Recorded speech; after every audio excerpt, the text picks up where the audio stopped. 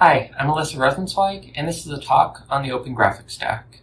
I'm a graphics developer at Collabora, uh, leading the open source Panfrost driver for the ARM Mali GPUs, and in my spare time, I'm helping out with the Asahi Linux project, porting Linux to Apple's uh, M1 processor. And I'm uh, excited to talk about uh, the Open Graphics Stack here in the Embedded Linux conference. My goal for this talk is to help understand uh, what is involved on the Linux stack uh, for 3D graphics nowadays, uh, because there are quite a number of moving parts, and I hope by the end of this talk you'll understand each of the parts involved and each of the different layers. And I also want to uh, talk about how open source fits into this and why it matters. So first of all, before we can even talk about open source drivers or drivers, 3D drivers at all, uh, we have to ask the question, do embedded systems need 3D acceleration? And since this is the Embedded Linux conference, uh, the answer is yes, they can sometimes. If you're talking about an 8-bit microcontroller, no, you're not going to want 3D acceleration for that. But for the uh, more complicated embedded systems uh, that we would be interested in running Linux on, uh, we absolutely uh, can sometimes need 3D acceleration, need GPUs. Uh, there's a tension here. On one hand, you have the embedded devices who, whose life cycles can be up to 20 years out in the field without uh, just working as they should, total stability. On the other hand, you have these very complicated user space graphics drivers, uh, and the closed source drivers have uh, end of life often as soon as five years after the product is released, which is quite a tension. Uh, even if it was 10 years, that's uh, no hardware vendor wants to support their driver for 20 year old hardware. Uh, with open source drivers, uh, the menu, you don't have to rely on the vendor, and that's one of the big perks for uh, embedded systems that need 3D acceleration. so if we convince ourselves that open source drivers are a necessity, both because the drivers themselves can be updated and also because they will work smoothly with mainline kernels and allow uprevving kernels, allow using the LTS releases of the kernel, um, all of things which are greatly complicated, if not prohibited, with various downstream proprietary graphic stacks on Linux. Even if we convince ourselves we need this, uh, we have to ask them, are open source drivers here? Are they ready? Can we use them in our products today? Uh, can end users go use them? And the answer is an affirmative yes. And I'm happy to say yes because uh, so many of these open source graphics talks over the years have been coming soon, TM. And uh, this year, at all the talks I'm doing, I'm giving a bold yes, and I feel confident with that answer, and I feel uh, very glad that we've gotten to this point for any vendor you can think of, uh, whether that be Intel and AMD on the desktop side, Broadcom and ARM on the uh, ARM side, uh, or defaulting to reverse engineering on the ARM side, Qualcomm, Vivante, and Apple, there are credible reverse engineering projects in the latter cases and credible drivers in all cases uh, and all open source. And that's, uh, that's a beautiful thing to me because that covers uh, every GPU that matters nowadays. Uh, what, what's that? Something about imagination? Oh, well, last I heard, uh, there was a job posting about hiring uh, Linux graphics people, and I said relevant, so. The bottom line is that open source graphics is the status quo, and that's that's a good thing for us, and it's a good thing for embedded Linux. So what does this open graphics stack look like? As promised, it's rather complicated, um, but hoping we can break it down. At the very top of the stack, you have the application uh, trying to do some high-level rendering. This might be a game, or it might be a desktop or a web browser. These are sort of the uh, more traditional applications you'd think of. In the embedded space, this might be a user interface of some kind, um, might be a an instance of Weston running uh, for your Wayland compositor on a closed system. Uh, closed is in contained, not proprietary. Hopefully, you can have an open closed system. Uh, at any rate, uh, it's going to talk to a graphics engine, uh, which is going to mediate to the high level APIs. There are quite a few graphics APIs, but the uh, most common on Linux will be either OpenGL or Vulkan. In both cases, the engine will provide uh, programs to run on the graphics hardware, uh, known as shaders, and these will pass through the pass through the API down to the compiler. The graphics compilers are themselves very complicated stacks, going through multiple representations of the program, multiple essentially compilers within the big compiler, but the net result is going to be a binary uh, that can run on the hardware. Separate from this, rather in parallel with this compiler stack, we also have the commands being sent to the hardware themselves. These can take two different forms. In OpenGL, you're presented with a state machine, which uh, some common infrastructure called Gallium has to then uh, sort of deconstruct into uh, much more rigidly defined states with descriptors and uh, more functional style programming almost. Or you can have, uh, you can specify those descriptors and those state objects directly, which is how Vulkan would work. In either case, these uh, state objects get passed to the backend driver, which will translate them into commands specific to the hardware, and then pass those commands off into the kernel. A driver in the Linux kernel will then just simply pass those commands off to the hardware, and you have your 3D rendering on screen. In terms of which software does which pieces, the applications and the, the engines are going to vary tremendously, and there are plenty of open source examples of both. Uh, for the hardware, obviously there's no software there. For the kernel, that's obviously Linux kernel. And then everything else on the slide is happening within the Mesa umbrella project. So let's talk about Mesa. Mesa, at its core, is a user space library for gra- writing graphics drivers and for providing a graphics driver. It implements a number of different APIs, OpenGL, OpenCL, and Vulkan, to name the most important three. And it has tons of common infrastructure used to implement these APIs. Uh, most importantly, it has the Gallium infrastructure, as I mentioned.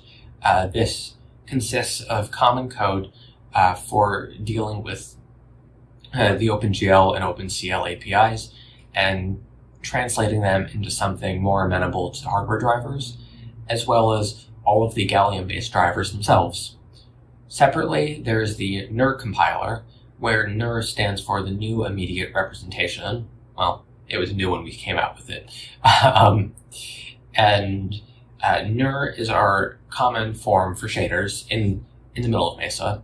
And then, of course, we have compilers that translate from NIR into the hardware uh, instruction sets for all of the different hardware you can think of. And the net result is that Mesa provides the user space component of the driver. Uh, the net build will be you know, libgl.so uh, or an equivalent for Vulkan.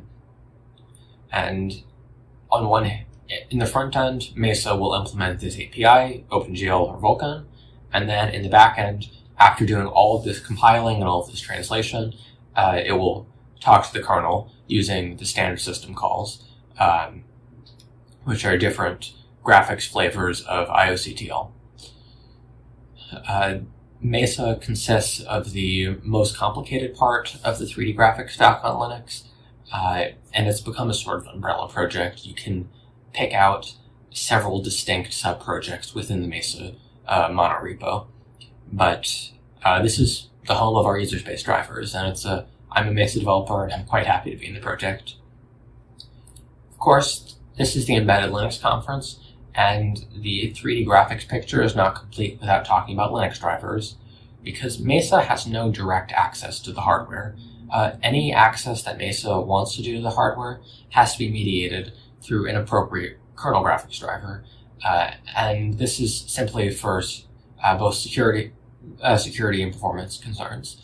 Um, and just stability. It, there was a time when user space display drivers ran the show and the kernel could sit back and that didn't pan out so well. Ask any X11 developer. So we have very small, well, in the embedded space, we have very small kernel graphics drivers uh, that provide the common interface for the much more complicated, much larger user space Mesa driver.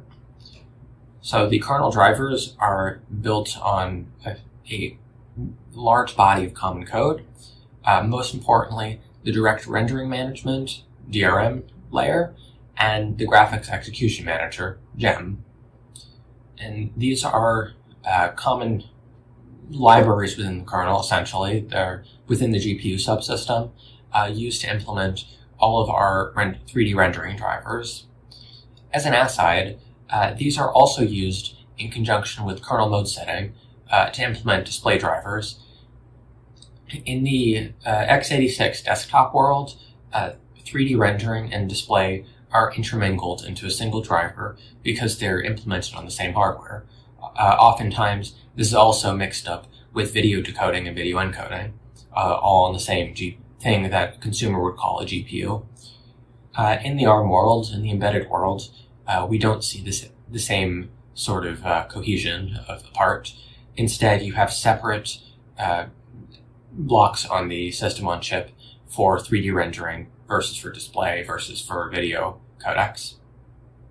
And as a consequence, you have uh, different drivers for each of these, and there is a sort of plug and play aspect at the uh, system on chip level, which uh, brings some unique challenges into the graphic stack. So, my point in this whole digression is saying that uh, this talk is really focused on the 3D rendering side, uh, which is uh, about DRM and GEM, not KMS. So, for the next segment, I'd like to talk about the bird's eye view of what happens at each of these layers of the stack. I showed you the big picture, but uh, let's go a little deeper, try to understand each layer separately. At the top, again, we have our application and our engine, which are using some API, and these are thinking in terms of drawing triangles and in terms of programmable shaders. Uh, generally, there are two types of shaders, and you need both. The first is the vertex shader, which calculates positions for all of the vertices in your geometry. And uh, the other is the pixel shader or the fragment shader, which calculates the colors. And this is the programming model that most APIs are implementing and that hardware has native support for. It's not perfect. It doesn't map perfectly to the hard, to all hardware. It's not necessarily the most comfortable programming model, uh, which is why people often will use an engine instead of uh, using these APIs directly. But it is a good trade-off between the requirements of every different piece of hardware and the requirements of every different application which might want to use the GPU. Of course, uh, there's more to it on the har- on the hardware side uh, because hardware nowadays is not working in terms of this high level abstraction. Instead, there tends to be a uh, more descriptor based setup, uh, either literally with descriptors in memory pointers everywhere in the case of the ARM Mali GPU, uh, or uh, less literally in terms of uh, state objects that can be bound at will, which is a much more uh, typical design. Um, on the with varying sizes all the way down to just register writes from user space. Uh, the bottom line is, though, uh, there has to be some translation from the uh, OpenGL concepts to what hardware actually wants. And uh, we have our front ends for this. This is Gallium helping with this, our drivers are helping with this. And you go from, instead of having a GL viewport, GL depth func calls, you instead have a depth stencil out object, a viewport state. Uh, and you can bind these and unbind these. And this is a much more natural interface for the hardware. And of course, you still draw triangles, triangles all the way down the stack. In parallel, we have our compiler, uh, which is organized the same way that uh, any compiler is organized, even for a CPU. Uh, you have your source code that gets parsed into an abstract syntax tree. The abstract syntax tree gets translated into some intermediate representation, which can be optimized with for with common code. And then once all of your common optimizations are applied, you can translate that into something hardware specific, which again can be optimized and finally translated into a final binary. We'll talk in a bit on why we have so many layers and why that's a good thing. The driver itself uh, is doing all this translation as mentioned, and it also has the added wrinkle of having to deal with memory allocation, at least for OpenGL. For Vulkan, uh, this is not so clear cut, but uh, really the user space driver has three roles compile shaders, translate state, and manage memory. And if you can get away with mem- without doing any memory management, uh, you're down to only two thirds of a driver, which is part of the buzz for Vulkan, I suppose, pushing that off into the application instead of having to do gymnastics in the driver to infer what an application would have meant to do in order to use the memory resources effectively, which is one of the big challenges with OpenGL. At any rate, all this is feeding into a kernel, which has really two responsibilities only. One is implementing this memory application, because user space is just call, do making a system call to allocate memory when needed. Uh, it's up to the kernel driver to actually do the memory allocation, typically by programming a memory management unit for the GPU in order to map chunks of graphics memory uh, for particular use. Uh, in the embedded world, we're using unified memory, so the same physical memory can be used on both the CPU and the GPU simultaneously and for, with a shared mapping, which can be made very efficiently. And uh, there's, so this is just a matter of programming the memory management unit in the correct way. Then the other piece is to, of course, uh, actually execute the job, uh, which in the most simple case is a matter of pointing the hardware to a particular uh, place in memory to tell it to start executing commands or start reading descriptors or uh, however it's set up. Uh, the other wrinkle here is that uh, there can be many processes rendering at the same time using the same GPU. And if, if the car, the hardware can only uh, run one process at, at a time or two processes at a time, uh, it's up to the kernel to schedule uh, what uh, how the GPU's time is allocated. And this is, again, a classic kernel responsibility, not just for graphics, but on the CPU. Uh, one of these mere uh, common kernel responsibilities, mapping memory and scheduling processes to CPUs. So uh, there's some sense in which graphics feels like having an operating system within the operating system, uh, which is a lot of fun for some definition of fun. So with that bird's eye view, we can talk about what Vulkan brings to the table because there's a lot of buzz about Vulkan, um, both uh, for high high end games to very low resource embedded systems uh, that need uh, 3D rendering. And so, what is the point of all of this?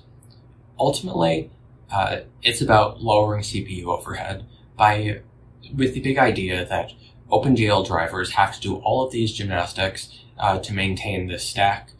Um, if you can pull out some of those responsibilities from the driver and make them the responsibility of the application, then the application has the potential to uh, do be more efficient uh, because it has more knowledge about what it's trying to do than the driver, which at best has to fall back to uh, custom heuristics, which, as you know, uh, heuristic in computer science is a euphemism for wrong. So that's kind of the point of Vulkan. The other change is that the GLSL parser is eliminated, um, which should excite the security people in the room because uh, parsing text is uh, one of the most error prone tasks in terms of uh, subtle buffer overflow type bugs. And remember, the user space graphics drivers are giant chunks of C code. And at one point you could say, well, they're not, they don't have any privileges, so it's fine. But now in the era of WebGL, um, there is a real privilege escalation path where driver bugs uh, can turn into security vulnerabilities and take over a system, which we don't want happening. So, in theory, uh, getting rid of this parser and using uh, just precompiled uh, vendor neutral shaders could be more secure and simply surely makes for simpler drivers. So, there's a lot of excitement around Vulkan. It's very clearly an improvement on OpenGL, but uh, there's no need for me to do two separate presentations, one on the OpenGL stack and one on the Vulkan stack, because beyond this surface level, they're essentially identical in terms of what's required from the kernel, the compiler, and so forth. Speaking of, what's the deal with these compilers? Why are there so many levels to them and layers, and what's going on here? this is essentially a response to a very uh, deep tension in our compiler stacks, and especially in the open source compiler stack. And this is a unique challenge for us. On one hand, we want to have uh, separation of concerns. We want to have uh, different um, pieces of our compiler to be uh, hardware agnostic, so we can share them across all of our different pieces of hardware. Um, and believe me, there is very little in common between a modern Intel chip and an old ARM chip but they share the same compiler in Mesa, um, at least for a big chunk of it. So, and we want to be able to do this code sharing, and there's these this fundamental tension of uh, how do we have our cake and eat it too, and the answer is just having turtles all the way down the stack. We have uh, different intermediate representations, uh, different representations of the program uh, for different purposes we have the representation of the GLSL code itself at the start, which is uh, there to facilitate the parsing and very early error checking. All of your syntax errors are all handled here. So we have one GLSL compiler that can be used identically or essentially identically for every piece of hardware ever. And this is one of the complicated parts of Mesa. So it's a good thing we only need one of them. Uh, we have our common intermediate representations, for example, the NIR representation, uh, being the most important at this point, uh, where the goal is not to represent the original program faithfully, the goal is to be easy to optimize. And so, whereas the GLSL intermediate representation is a tree-based representation modeling uh, how, what the source code of the program really looked like, and uh, and preserving all the variable names and all of that. NIR is a flat intermediate representation that's completely static single assignment form. So translating from GLSL to NIR uh, destroys the source level of the program, but it puts it into a form that's much easier to optimize uh, in the same way that translating from uh, Clang's abstract syntax tree into LLVMIR is required for all of the common LLVM optimizations if you have experience on that compiler side. And finally, you have all of the different IRs for the different backends. Uh, for example, uh, I maintain the Bifrost uh, intermediate representation, which models Bifrost and more recently Valhalla hardware, uh, both GPUs from ARM. And uh, the Bifrost intermediate representation is much more difficult to optimize for doing the sorts of general purpose optimizations that NIR concerns itself with, but it models faithfully all of the different quirks about the uh, ARM Bifrost hardware, which means it's possible to write optimizations on Bifrost uh, in intermediate representation that take full advantage of the Bifrost hardware uh, without um, having to pollute the common code, so to speak. So having this tree of uh, intermediate representations uh, that chain together is really important, and this composability is essential to being able to maintain a compiler stack that can handle uh, multiple different APIs of input and a dozen different uh, instruction sets of output and be able to share code in the middle. And this is something that Mesa does really well. Uh, LLVM for the CPU also has the same challenges with a the same sort of solution, although LLVM and NIR are uh, in some respects very different. For an example of what this actually looks like, uh, here's a diagram of all of the different compiler paths that you would take with the Panfrost driver targeting the Mali hardware. In the simple case that I keep talking about, you start with OpenGL, you pass in a GLSL program, that gets parsed into a GLSL abstract syntax tree uh, and translated into NIR. The NIR gets optimized and translated into a Panfrost specific intermediate representation, for example, the Bifrost intermediate representation, and then that gets translated into the hardware specific code. Fine. Uh, Vulkan is just as simple, except instead of inputting GLSL and translating GLSL to NIR, you input SPIRV and translate SPIRV to NIR, which is a much simpler code path. But again, uh, Panfrost is completely agnostic to GLSL and SPIRV because it just sees NIR input. And the GLSL and SPIRV uh, front ends are all handled in completely common code shared across every driver, uh, which means there is a considerable simplification and cost reduction for developing open source drivers in Mesa as opposed to proprietary drivers. The OpenCL path is unfortunately much, much less nice. Uh, you have essentially C code input, OpenCL C, but C code, which means we have to go through Clang and have Clang output LLVM and then translate the LLVM into SPIRV, which is complicated. Some would say it's overcomplicated, but you really don't want to write your own um, C front end if you can help it, especially not a C++ front end, because yes, OpenCL C++ is a thing.